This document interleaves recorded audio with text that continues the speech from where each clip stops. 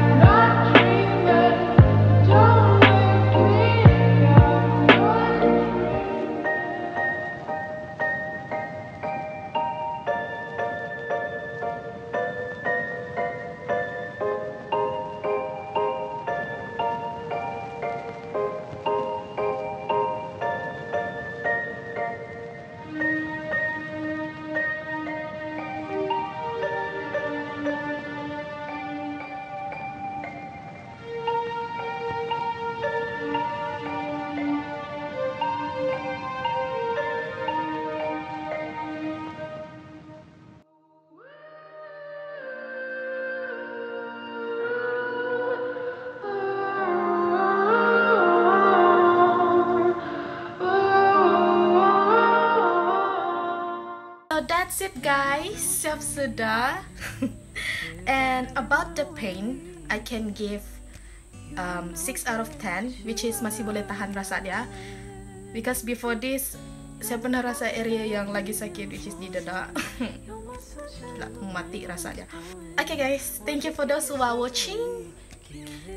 Please do subscribe, like and comment down below and suggest me for my next video. What should i do?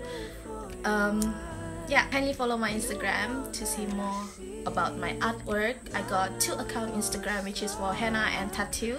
And i will put here somewhere down below so kindly follow me. And yeah thank you guys